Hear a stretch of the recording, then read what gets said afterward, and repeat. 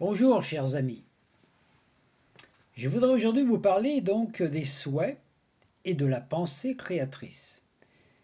Parce que sans doute vous êtes-vous posé un jour la question, mais pourquoi euh, mes désirs, mes souhaits ne se réalisent pas? On a eu beaucoup d'articles, de, livres sur la pensée créatrice, sur la, la loi d'attraction. Parfois on s'aperçoit que ça ne fonctionne pas. Alors pourquoi? Tout simplement parce qu'il y a une intrication qui est assez profonde et tant qu'on n'a pas compris le processus, bah, on se fait piéger. Le monde matériel dans lequel nous vivons résulte du psychisme collectif. Les particules de matière sont neutres, mais bipolarisées. Elles s'agencent selon les ondes de forme générées par les formes pensées. Hein. Donc le principe créateur lui-même est bipolarisé, actif et émissif, actif en tant que polarité masculine et réceptif en tant que énergie féminine. Toute la création résultant de ces deux forces génératrices d'une vibration modelant la matière. Vous voyez, le masculin, le féminin, hein, l'homme et la femme. Quand l'homme et la femme se contemplent et s'aiment, ça crée un vortex d'énergie. Donc le 1, le 2 et le 3. Et le plus important pour nous, c'est le 3. C'est ce qu'on appelle la force, euh, intelligente de l'univers. Le masculin est manifesté par l'intellect, les pensées, les idées. C'est lui qui crée le squelette de la forme à venir. Le féminin est manifesté par l'émotion, le sentiment et l'amour. C'est lui qui crée la chair enrobant le squelette. Donc c'est de l'union interactive entre ces deux principes que naît le troisième, le Fils, résultant de l'échange entre le Père et la mère. Le Père se manifeste par la volonté, la mère par l'amour, le Fils par l'intelligence. Au niveau cosmique, le Fils, résultant de l'interaction du masculin et du féminin, se manifeste par le mouvement, le mouvement ondulatoire générant un vortex électromagnétique au sein duquel les particules de lumière s'amalgament selon les formes pensées émises pour créer une forme matérielle. Sans l'échange entre les deux principes, rien ne peut venir au monde. Tant que le mouvement, l'intelligence cosmique, n'est pas déclenché, rien ne se produit. Tout reste à l'état conceptuel. C'est l'intelligence cosmique, fils, que on appelle aussi dans notre univers énergie christique qui a engendré les galaxies, les univers, le système solaire et maintient en activité le mouvement des planètes. Le mouvement crée l'énergie. C'est cette même intelligence qui, au sein de notre monde, perpétue la création de toutes les formes de vie. C'est elle qui a créé notre corps, l'entretien, le maintien en mouvement et organise tout à l'intérieur à la perfection, l'intelligence corporelle. Les deux polarités de notre être sont interactives en permanence. Chaque pensée génère une image déclenchant une émotion et l'interaction des deux crée un champ vibratoire invisible et notre matière corporelle et environnante en prend la forme adéquate à l'image générée. Donc tout vient de la vibration. Notre aura émane un champ vibratoire et tout ce que nous vivons dans le monde correspond à cet état vibratoire. Les particules de matière s'agencent pour que nous vivions le monde selon notre état vibratoire. Si nous sommes dans un état vibratoire de tristesse, le monde extérieur va nous paraître triste. Si nous vivons dans un état vibratoire de joie, le monde extérieur va nous paraître joyeux. Chacun crée donc sa réalité. Toute notre destinée dépend donc de nos pensées, de nos émotions. Les pensées négatives génèrent des émotions et un champ vibratoire négatif qui va naturellement impacter notre vie. Nous retrouvons ces deux principes au niveau de la source. La lumière créatrice est à la fois onde et particule.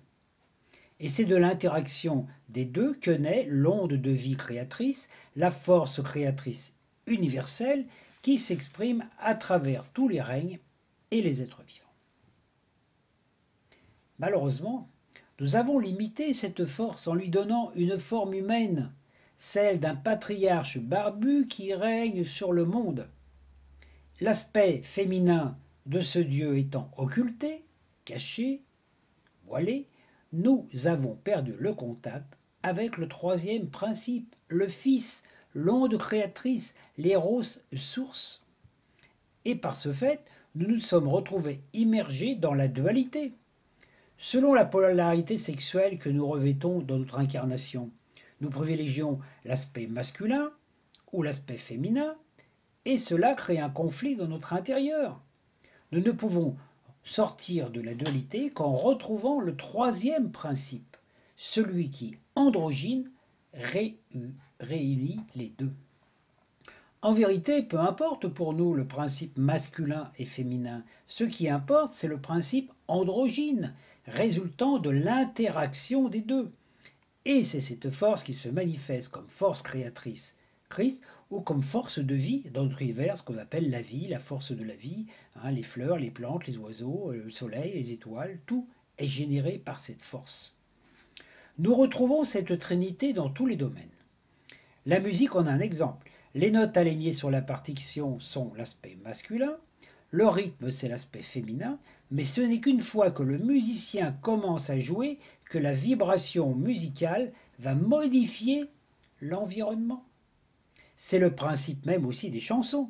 Un chant, parole, son, hein, des notes, chant et son, hein, mais le chant ne produira une vibration que s'il est chanté avec émotion. Ainsi, les mots vont être rythmés par la musique et vont générer une émotion. Dans notre réalité, seul le principe actif, androgyne, intelligence cosmique ou fils, nous concerne. Peu importe comment sont organisés les deux principes au niveau de la source. Importe la capacité pour nous d'utiliser la force créatrice pour créer notre réalité. Peu importe les livres de magie, importe la magie que l'on met en œuvre. Hein. Le but, c'est de pas de comprendre les choses, et c'est d'utiliser les outils qu'on a. Hein. Si vous pourriez avoir un marteau entre les mains et puis chercher comment a été conçu le marceau, pourquoi il a été conçu, etc. etc. Voilà. Mais non, j'ai un marteau entre les mains, bah, autant que je m'en serve. Hein. Il est fait pour quelque chose. Voilà. L'utilité des choses. Après, connaître les bases, c'est une chose importante, mais surtout ne pas négliger le fait d'utiliser l'outil. On ne peut pas comprendre les choses tant qu'on n'est pas dedans. Donc c'est en vivant les choses, c'est en vivant la magie qu'on peut comprendre ce qu'est la magie. Dans notre langage français, le je suis est révélateur de ce principe. C'est la conjugaison du verbe être au présent. Et personne d'autre que nous ne peut être je suis à notre place. Nous retrouvons les deux principes, le je masculin et le suis féminin, la substance que nous émettons et ce que nous émettons comme idée, suite à ce je suis, modèle notre réalité. La matière s'agence selon l'onde de forme générée par le courant électromagnétique. Quand vous affirmez, quand vous pensez je suis fatigué, déjà, poum, ça vous met une charge. Mais si vous affirmez par le verbe je suis fatigué, que vous le dites à d'autres personnes qui vont dire oh là là, il est fatigué, etc., vous créez une onde vibratoire qui fait que vous ressentez cette fatigue. Donc, d'où l'importance de faire attention aux mots que l'on dit Hein, comme par exemple, des fois, quand on dit Oh, je suis mort, je suis fatigué, euh, voilà tout ça. Hein, je suis, c'est reconnaître. Quand on dit je suis, c'est reconnaître qu'on veut cela. C'est comme si, par le je suis, on demandait à l'univers Oui, je, veux expérimenter ça. Je veux être fatigué. Donc voilà. Hein, donc c'est très important, cette, cette conjugaison du verbe être au présent. L'énergie cosmique masculine descend du soleil vers la tête et pénètre notre cœur. voilà. L'énergie magnétique féminine monte du cœur de la Terre, pénètre jusqu'à notre cœur. Hein. L'union des deux principes, donc la force descendante et la force ascendante, crée un vortex au niveau du cœur, un vortex électromagnétique qui est un vortex créateur. Nous sommes des magiciens. Tout ce que nous pensons au niveau de notre cœur se concrétise parce que c'est l'union du masculin et du féminin, même si nous ne sommes pas conscients. Ainsi, on pourrait se poser la question pourquoi nos idées, nos volontés, nos désirs ne se concrétisent pas, comme nous le souhaiterions? La réponse résulte de cette bipolarité entre nos idées et nos émotions. Lorsque nous émettons des idées qui ne sont pas en accord avec nos émotions, les deux se combattent, et c'est le conflit intérieur entre ce qu'on désire avoir ou être et ce qu'on pense pouvoir avoir ou être. Nous obtenons toujours ce qui correspond à ce que nous pensons mériter. La maîtrise de la pensée est la base de toute la création. Les pensées proviennent de partout. Hein. Dans notre monde, nous captons plus de 80 000 pensées par jour. Certaines sont inconscientes, d'autres ne touchent pas, certaines attirent notre attention. Toutes les pensées véhiculées dans l'inconscient collectif ont un impact sur notre vie. Les pensées provenant de la source appartiennent au monde causal, au plan abstrait, le plan où réside notre soi solaire. Notre Père, le Soleil, qui est aux cieux, la conscience. Le soi, donc notre partie lumineuse, nous envoie des informations via la lumière sous forme d'ondes et d'ultrasons que notre cerveau transforme en son et en images. Ceci déclenche un ressenti, des émotions et des sensations qui modifient notre biochimie cellulaire, notre ARN et notre ADN et impactent notre santé. Vous voyez, tout le principe des ondes, c'est très important de comprendre, comme à notre époque, vous avez une télévision chez vous, hein, vous avez une télévision, euh, voilà, euh, il y a des émissions qui sont générées à partir des centres d'information, puis les ondes, elles arrivent à travers, euh, à travers votre maison, à travers vos murs, à travers l'électricité, à travers votre box, etc. Et, et quand ça arrive sur votre télévision, boum, ça forme des images. Et vous entendez des sons. Mais les sons, les images, ils ne sont pas dans la télévision. Ils viennent par des choses invisibles, par des fréquences. Hein. La même chose quand vous utilisez par exemple votre télécommande, hein, vous voyez, à distance, pouf, ça y est, vous changez les chaînes de la télé, etc. Donc c'est quelque chose d'important. Donc nous, au niveau de notre pensée, c'est la même chose. Nous, la télécommande, c'est le cerveau aussi, la tête. Hein. Donc dès que vous pensez une chose, toc, automatiquement, vous téléchargez, vous, vous changez le plan vibratoire. Une seule pensée peut changer votre champ, le champ vibratoire de votre aura dans l'instant présent. Hein. Vous ressentez quelque chose, une émotion négative ou positive qui vient, hop, automatiquement, toute votre journée va être changée. Les pensées provenant de la source appartiennent au monde causal au plan abstrait, le plan où réside le soi solaire, hein, comme je vous ai dit. Donc c'est très important. Mais notre ciel humain, nous, notre conscience est constellée de nuages voilant le soleil et les émanations psychiques de l'inconscient collectif provoquent des interférences dans notre réalité. Le monde matériel tel que nous le vivons est la résultante de toutes les pensées, les images et les émotions émises par l'humanité depuis la création de notre Terre. Les particules de matière, qui sont neutres, s'agencent selon les flux et les courants ondulatoires générés par les humains vivants ou ayant vécu sur Terre. Tout cela constitue l'inconscient collectif, régi par la Lune. Chaque être humain est connecté à ce tout par le simple fait de vivre ici-bas et par les transmissions génétiques des mémoires de vie en vie. Chacun de nous donc dispose d'une partie inconsciente, lunaire, qui est impactée par le collectif. Tant que le lien est maintenu, il est totalement impossible d'utiliser le pouvoir magique de la pensée pour changer le monde extérieur, puisque celui-ci résulte de la pensée de tout le monde, du collectif.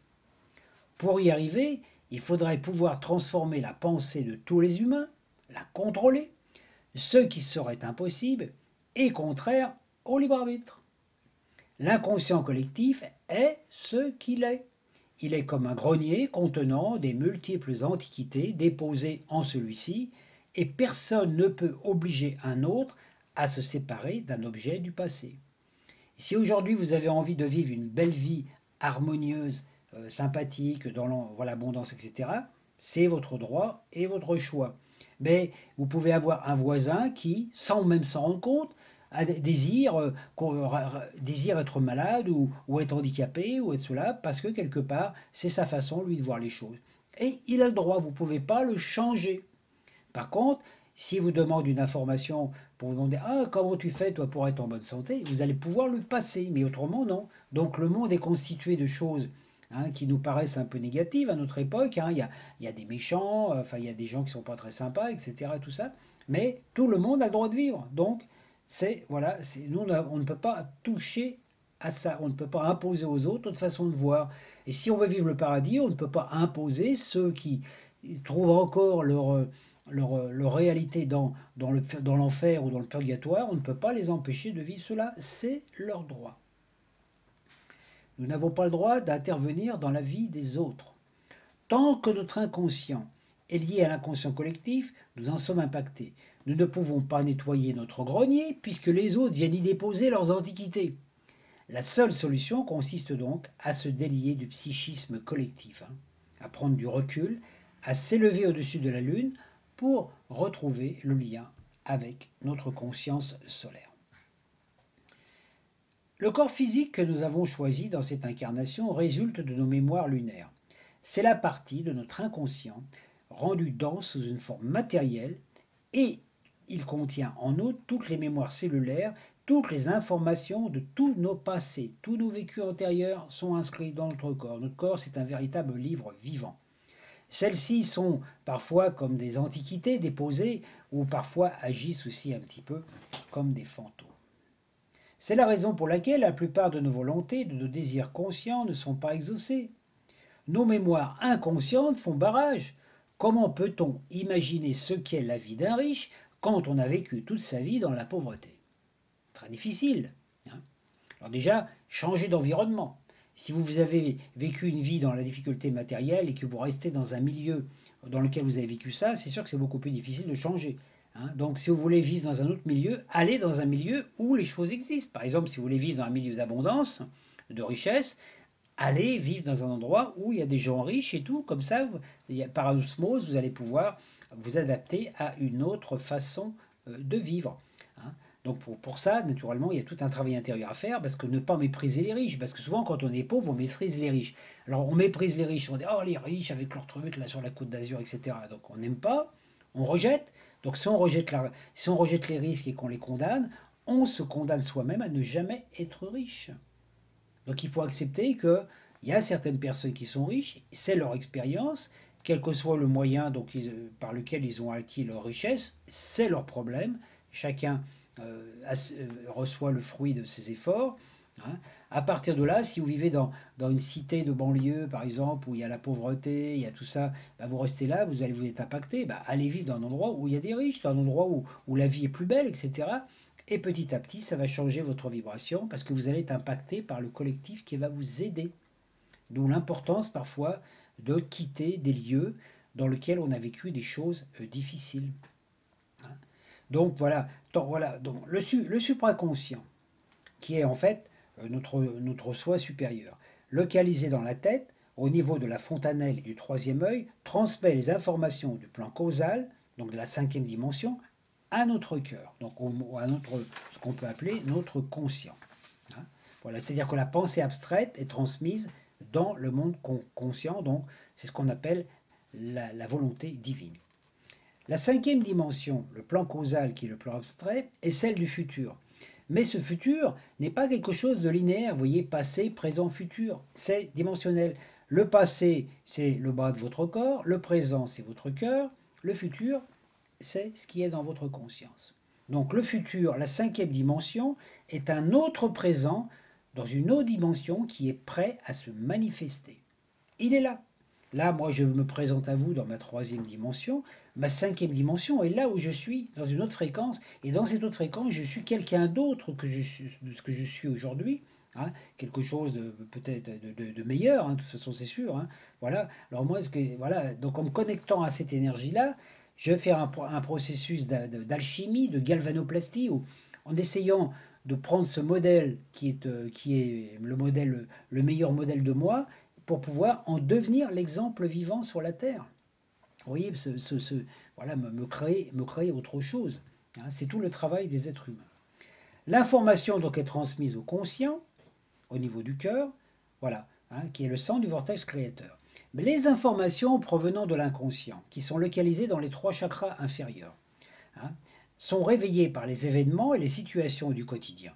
La Lune déclenche les rencontres et celle-ci provoque des face-à-face et donc des interférences. Ainsi, par notre conscient, nous pouvons actualiser les pensées d'un meilleur futur, donc du soi causal, ou celle d'un passé antérieur non résolu. Hein, donc voilà des vies antérieures, etc. Les trois fréquences s'émanant en même temps, cela génère un combat intérieur dont nous sommes inconscients. Moi, je suis dans mon cœur, dans mon conscient, je veux quelque chose. Donc je peux capter une information qui vient de mon, soi supérieur, qui m'apporte une information pour un meilleur. Hein, si je demande ah quelle est la meilleure chose que je pourrais vivre actuellement pour moi dans ma vie pour être heureux? Voilà. Donc mon soi supérieur va me communiquer une information sous une forme euh, ondulatoire. Voilà. Et puis en même temps, je vais avoir mes mémoires du passé. Hein, ce que j'ai vécu hier, avant-hier ou dans mes vies passées, qui sont, ce qui n'est pas réveillé va se manifester. Donc ça va être les fantômes du passé qui font que quand je me trouve face à un événement, eh ben, c'est l'un ou l'autre auquel je vais me connecter. Exemple, vous pouvez désirer par exemple devenir une personne célèbre et prospère. Vous émettez l'idée, vous accomplissez les démarches pour cela, mais une peur inconsciente vient sournoisement saper votre enthousiasme. Celle-ci peut provenir d'un vécu antérieur personnel qui s'est mal terminé, ou peut-être une pensée collective à laquelle vous avez donné foi. L'émotion inconsciente vient saper l'émotion d'enthousiasme et votre projet ne fonctionne pas. Sans même vous en rendre compte, vous allez faire l'acte ou dire la parole qui va tout faire capoter. La matière vous renvoie l'effet miroir de votre scénario intérieur. Voilà pourquoi c'est compliqué pour nous, car nos pensées, nos émotions, notre conscient et notre inconscient sont étroitement mêlés et provoquent des interférences. Alors quand vous vivez seul, c'est une chose.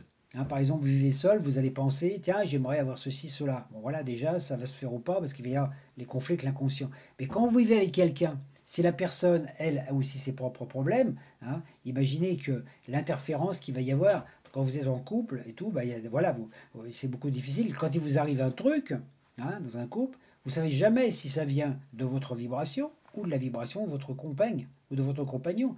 Vous ne savez pas si le truc qui vient, c'est pour que vous ayez quelque chose à comprendre vous ou elle, vous ne pouvez pas. Quand vous êtes tout seul, c'est déjà un peu plus facile, puisqu'il n'y a que vous. Donc euh, voilà. Hein. mais après, il y a encore le dilemme entre intérieur, extérieur, masculin, féminin. Hein. c'est pour ça que c'est un petit peu. Voir clair là-dedans, c'est pas évident. La seule solution consiste à devenir conscient de nos mémoires inconscientes. La Lune se charge de nous révéler, par le biais d'effets miroirs, des rencontres, des événements, des situations, ce qui doit être actualisé ou nettoyé. Tant que cela n'est pas réalisé, nous ne pouvons utiliser nos dons et talents naturellement. Au plus profond de notre psychisme se trouve une grotte contenant un trésor, celui entassé par notre âme, avec ainsi nos dons, nos talents acquis, nos pouvoirs, notre connaissance. Et notre enfant intérieur, messager de notre âme, y est aussi enfermé.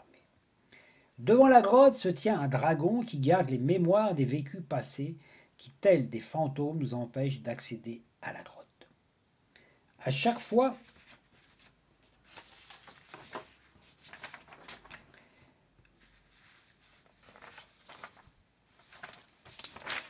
excusez-moi, que nous percevons la volonté divine, qui n'est autre que la volonté de notre soi, qui nous révèle le meilleur potentiel à vivre, ce dragon va émaner, hein, va, cracher son venin. Donc euh, les trois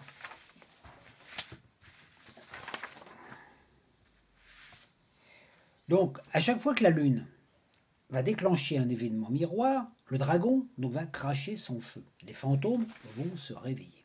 Deux possibles se alors à nous. A. Nous acceptons le face-à-face et reconnaissons que ce que nous vivons résulte de nos films intérieurs. Nous ne régissons pas, nous pardonnons, nous effaçons la blessure et réintégrons l'information en nous, ou nous nous laissons impulser par les fantômes du passé, nous n'acceptons pas ce qui se présente, nous réagissons à la situation ou à la personne qui sert de réflecteur, et nous refusons de reconnaître que nous sommes inducteurs de cela. Nous maintenons donc l'information à l'extérieur, sans en reconnaître que la source est en nous. Et la Lune provoquera d'autres rencontres pour vivre plusieurs fois ce face-à-face jusqu'à temps que nous en soyons libérés. C'est ainsi que nous pouvons devenir conscients de notre inconscient et donner toute notre attention au meilleur futur qui nous est proposé. Le subconscient, qui est le reflet de notre enfant intérieur, est localisé dans le thymus. Jusqu'à l'âge de 7 ans, le thymus est intimement lié aux mémoires du sang de notre mère. Nous ressentons les mêmes émotions que notre mère, elle ressent les nôtres. C'est la période pendant laquelle notre système immunitaire est pleinement actif, notre corps vital est en pleine croissance, donc on est rempli de vitalité. Hein. Cependant, les émotions ressenties par notre mère nous étant transmises vibratoirement, télépathiquement, si celles-ci sont négatives, elles peuvent impacter notre vitalité. Une mère angoissée envoie inconsciemment à son enfant des énergies négatives qui va affaiblir son système immunitaire et qui va donc diminuer ou peut-être altérer son état de santé. Très important, surtout pendant les sept premières années de la vie. Tant que notre inconscient est impacté par l'inconscient, personnel ou collectif, nous ne pouvons réaliser pleinement. Nos talents restent endormis, notre vitalité est moindre. Lorsque nous sommes conscients de notre inconscient, nous pouvons donc avoir accès à nos mémoires antérieures, celles de notre passé, je ne vais pas les chercher, hein, ça peut venir simplement, sans que cela provoque une émotion. C'est juste une information. Quelqu'un va vous dire quelque chose, ou il va se passer un événement qui va réveiller quelque chose que vous avez vécu pendant l'enfance pendant une vie antérieure. Vous dire ok, d'accord, mais vous n'allez pas y donner plus d'énergie que ça. Pas d'émotion dessus, pas d'émotion, simplement, voilà, c'est une information.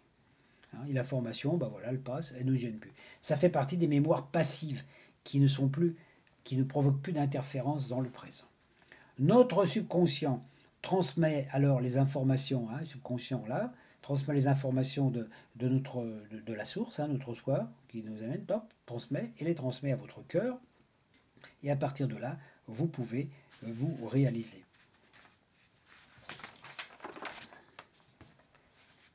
Ainsi, nous percevons la volonté divine, qui n'est autre que la volonté de notre soi, qui nous révèle le meilleur potentiel à vivre. Les trois couronnes de notre temple corps, celle de la tête qui est reliée au soleil central, à la galaxie et à la source, celle du cœur qui est reliée au, au, soleil visible, celle du centrara qui est reliée au soleil invisible de la trois terres, sont en interconnexion. Et le cœur est le centre entre le ciel et le centre de la terre. L'énergie magnétique du cœur de la Terre et l'énergie électrique provenant de la source s'unissent dans le vortex de votre cœur et votre aura est un vortex électromagnétique et ce que vous allez penser, émaner, va se manifester. Votre corps vital, régénéré par l'information solaire, s'en trouve dynamisé et la joie de vivre suscitée par l'éveil de votre enfant intérieur va maintenir l'onde de joie active. Hein. C'est pour ça que cet enfant, dans la mythologie, on l'appelle Eros, hein, le fils d'Aphrodite, la déesse de l'amour. Hein, cet enfant qui est un petit peu voilà, plein, plein, plein de joie de vivre, etc. Votre corps rajeunit et s'auto-régénère.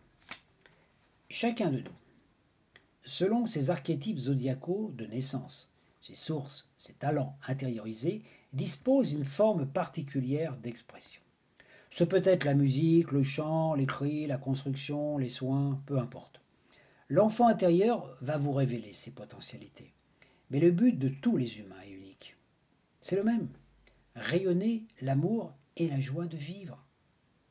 Et ce qui nous donne de l'amour et de la joie de vivre à chacun est différent. Ça dépend de nos caractéristiques. Quand on atteint ce plan de réalisation, on se rend compte que peu importe notre polarité, qu'on soit un homme ou une femme, les deux ont toujours été en nous depuis toujours. On peut alors utiliser harmonieusement nos pensées et nos émotions, en couple, en symbiose, faire ce qu'on aime, aimer ce qu'on fait, et ainsi on retrouve notre état androgyne primordial, la force créatrice, l'onde de vie. On est un être créateur, un Christ vivant, un fils de l'univers qui manifeste sous dans ce monde un concept qui lui est insufflé par la source. Dieu ne nous apparaît plus alors comme un vieillard Barbie assis sur un nuage, mais comme l'énergie de vie manifestée partout dans toutes les formes. Tant qu'on n'a pas réalisé cette libération, on ne peut que subir le collectif matériel, et on passe sa vie à chercher à se caser, à trouver un job pour ne pas manquer de l'essentiel, à vivre une vie sans joie. Il faut de la volonté pour sortir de la tête des nuages. Mais cela est possible. Quand c'est réalisé, on peut alors vivre dans le monde sans être de ce monde. On vit sa réalité, on écoute la voix de son cœur, on vit le paradis, même si autour de nous d'autres vivent le purgatoire ou l'enfer. On anticipe une autre façon de vivre. Et si quelqu'un nous demande Comment as-tu fait pour vivre comme ça? Vous pouvez lui expliquer, afin de l'aider à changer sa vision. Mais il recevra l'information et il en fera ce qu'il veut. Ça ne vous regarde pas, vous partagez l'information. Les génies et les grands initiés ont apporté sur Terre des informations provenant du futur, montrant comment l'humanité vivra dans 100 ans, dans 50 ans ou peut-être dans 1000 ans. Regardez, Jésus, ça a été un précurseur. Il a montré un autre possible, le pouvoir magique. Plus il y aura d'humains anticipant un meilleur futur, plus celui-ci deviendra la réalité au niveau du collectif. Donc il faut éviter de, prévoir ou d'imaginer ou de donner foi à un mauvais futur éviter toutes les, prophéties apocalyptiques de la fin du monde, la fin, euh, les bancs vont s'écrouler, ça va être la faillite, il va y avoir euh, une humanité manipulée, etc. Enfin, toutes ces mauvaises choses qu'on voit véhiculées par les informations médiatiques, mais aussi par l'intermédiaire de films apocalyptiques. Ne nourrissez pas cela, parce que quand vous le nourrissez, vous le créez. Ça n'existe pas, c'est un potentiel qui est là. Ne donnez pas de foi à ça. Utilisez votre pensée uniquement pour créer le bel avenir que vous voulez pour vous, pour vos enfants, pour ceux que vous aimez, etc., pour l'humanité. Le futur de cinquième dimension, comme j'ai dit, n'est pas situé dans le temps, mais ici, maintenant, dans une autre fréquence. Hein. Comme je disais tout à l'heure, une partie de vous vit déjà dans ce futur paradisiaque. Elle est là où vous êtes, invisible, et peut vous donner des infos pour que vous anticipiez, anticipiez ce futur de 5D dans cette réalité temporelle pouvez vivre le paradis ici maintenant, anticipé, vivre aujourd'hui comme vivront les humains peut-être dans 100 ans ou dans 200 ans.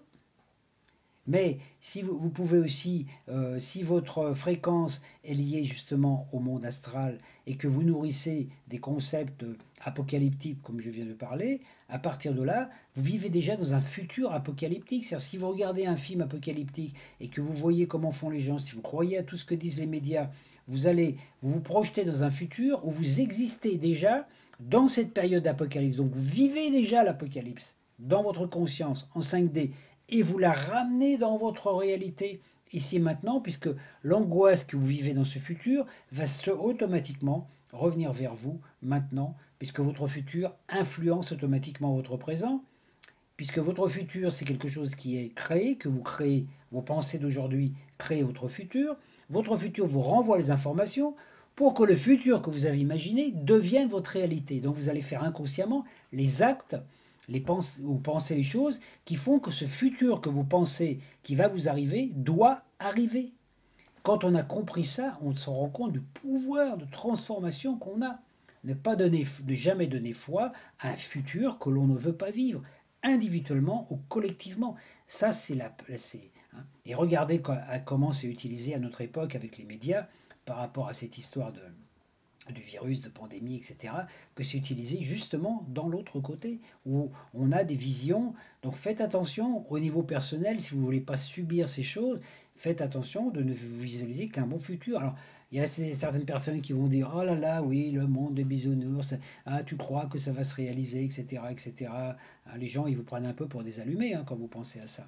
Hein. Exactement comme Jésus est passé pour un allumé à son époque avec les gens quand, quand il matérialisait des choses, et puis ils disent voilà, le royaume de mon Père est là, etc. Tout ce que Jésus a dit, hein, voilà. Tous les gens qui ont toujours anticipé. Regardez au niveau scientifique, des personnages comme Nikola Tesla qui ont apporté des choses extraordinaires pour vivre un meilleur futur, qui a été refusé ou qui a été manipulé. Hein. Donc l'important actuellement, c'est au niveau personnel. Le collectif, vous ne pouvez pas le changer. Mais vous, si vous changez votre, votre vie personnelle, ça va automatiquement impacter autour de vous. Et voilà, et au moins, vous, vous vivrez ce que vous avez envie de vivre, vous assumerez votre souveraineté. Hein? La visualisation sert à imaginer autre chose, par exemple à ressentir. Quand on demande quelque chose, il faut ressentir que cela est exaucé, remercier. Il n'y a aucun obstacle, sauf ce que l'on peut créer, consciemment ou inconsciemment. Il faut vivre comme si ce futur que vous désirez est réalisé. La véritable puissance de l'homme n'est pas dans ses muscles, mais dans sa pensée, dans son verbe et dans sa puissance d'imagination. Les magiciens savent cela, les autres subissent le monde. La plupart des humains savent ce qu'ils ne veulent pas vivre, mais ne savent pas ce qu'ils aimeraient vivre. C'est là tout le travail à faire. Alors, si vous n'aimez pas quelque chose, arrêtez d'y penser, ne luttez pas. Par exemple, si vous n'aimez pas les kilos en trop que vous pensez avoir, oubliez la forme de votre corps. Ne vous regardez pas dans la glace pendant un certain temps. Mangez, pensez sainement, pensez que vous avez l'accord idéal, visualisez-le et oubliez l'autre. Et pendant tout ce temps, évitez les miroirs. Parce que soyez convaincus et cela modifiera votre réalité. Si vous regardez chaque jour dans le miroir le corps que vous ne voulez plus avoir, vous le maintenez dans la réalité, vous lui donnez de l'attention, donc il continue à se perpétuer, et vous vivez la dualité entre le corps que vous avez, que vous voyez dans le miroir, et le corps que vous voudriez avoir. Hein. donc, quand vous faites un travail sur votre corps, ne luttez pas contre vos cellules, ne, méprisez pas les parties de votre corps, même si vous avez des parties, vous voyez, hein, parties de votre corps et les parties graisseuses de votre corps que vous n'aimez pas, ne les méprisez pas parlez à vos cellules, aimez-les, dites-leur que vous n'avez pas tenu compte assez d'eux. Euh, voilà, parlez-leur comme vous parleriez à des amis, puis dites-leur, je vous aime, nous avons vécu quelque chose ensemble, parce que eh, vous vivez avec vos cellules, hein, elles participent à votre vie. Nous avons vécu quelque chose ensemble. Bon voilà, j'ai pas toujours été à la hauteur. Bon maintenant, je vais prendre soin de vous.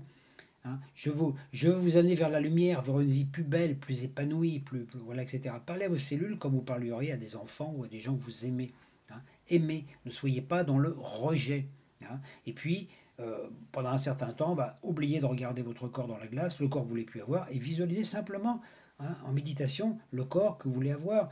Et puis pensez à chaque fois que vous mangez, ou que vous faites un acte, ou que vous fêtes un peu de sport, pensez que justement, c'est parce que vous disposez déjà de ce nouveau corps. C'est le travail le plus important à faire. Voilà. voilà. Donc, à partir de là, et vous pouvez faire ça avec toutes les choses. Donc, les choses que vous voulez plus, c'est pas la peine de lutter contre. Faut les désactiver et puis vous concentrer uniquement sur ce que vous voulez. À partir de là, votre volonté étant alignée sur votre soi supérieur, votre supraconscient, votre futur, votre meilleur futur, va s'actualiser dans votre présent. Et puis votre passé, bah, le passé il est passé. Hein. Vous allez vivre pleinement votre vie maintenant et créer votre réalité comme vous en avez envie. Vous serez donc réaligné. Voilà, je voulais vous parler de tout ça aujourd'hui. Bon, bah, c'est un petit peu long, hein, excusez-moi, le terme, j'ai voulu développer un petit peu tout ça. J'espère que tout ce que j'ai dit dans cette vidéo vous aidera. Et puis, euh, voilà, en attendant que d'autres informations viennent. Je vous souhaite une très belle journée, euh, un très beau mois de juin, un mois de juillet, un bel été, etc. Et puis, à très bientôt.